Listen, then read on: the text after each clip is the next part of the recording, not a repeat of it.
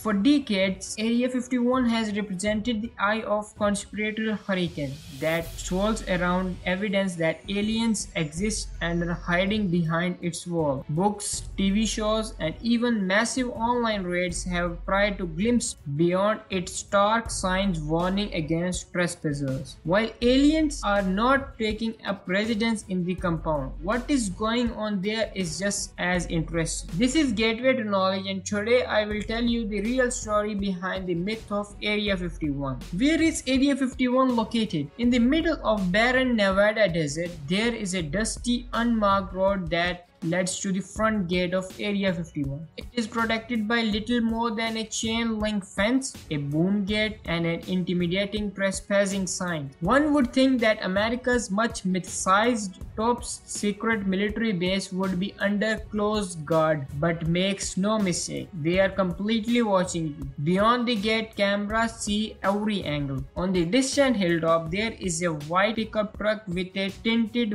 windshield peering down on everything. The local community says that the base knows every desert tortoise and jackrabbit that hops the fence. The others claim that there are embedded sensors in the approaching road. But what is exactly going inside the Area 51? This has led to many speculations. One of the main speculation is the alien conspiracies that some visitors from the outer space are somewhere tucked inside it. One of the more colorful rumor insists the infamous 1947 Roswell crash. That was actually a Soviet aircraft piloted by mutated midgets and the damaged aircraft remains on the ground of Area 51. Some even believes that the US government filmed the 1969 moon landing in one of the base hangars. For all the myths and the legends, what's true is that Area 51 is real and it is still very active. There may be aliens or a moon landing movie set inside those fences. There may not be be aliens or a moon landing movie is set inside those fences, but something is going on, and only a few persons know that what is going down on the closely monitored wind sweeping the Nevada's road. The forbidden aspect of Area 51 is what makes people want to know what is there, and there is surely something going on.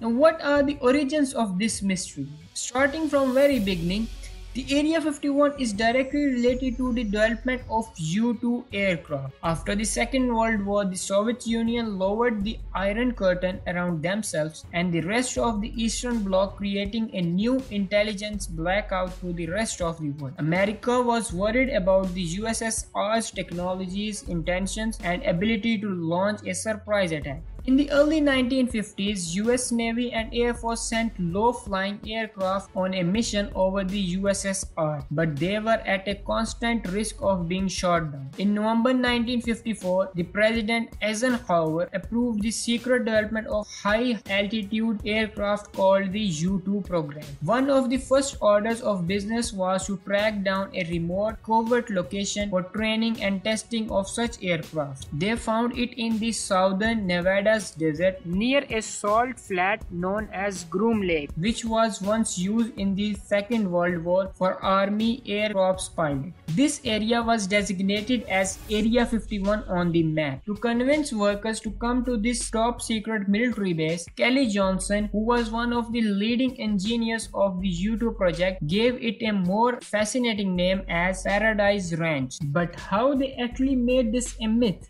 The testing of U-2 aircraft began in July 1955 and the immediate reports that were published were demonstrating that there are some unidentified flying objects in the sky. Many of these unidentified objects were observed by the commercial airline pilots who had never seen an aircraft flying at such an altitude as the U-2. In the mid-1950s, the airlines flew at a height of 10,000 and 20,000 feet, but the U-2 aircraft which was flying at a height of 60,000 feet would have completely looked like an alien spacecraft. At that time, Air Force officials knew the majority of the inside but they were not allowed to reveal this detail to the public. So this natural phenomena came to an end when Gary Powers' U-2 was shot down by Russia. But don't go anywhere because now I will tell you the truth of Area 51. It is very much in use nowadays. According to Google Earth, new constructions and expansions are continuously happening over there. If you are a visitor to Area 51, you can spot strange lights in the sky moving up and down. No, it's not UFO. It's actually the semi-secret contract commuter airline using the call sign Janet that transport workers from the Las Vegas McCarran airport to the military airbase. As for what is happening these days in the America's most secretive military airbase, only a few persons knows about this. But the speculations are there that there are many advanced weapons, electronic warfare system, classified aircraft and direct energy weapons are under development in the base.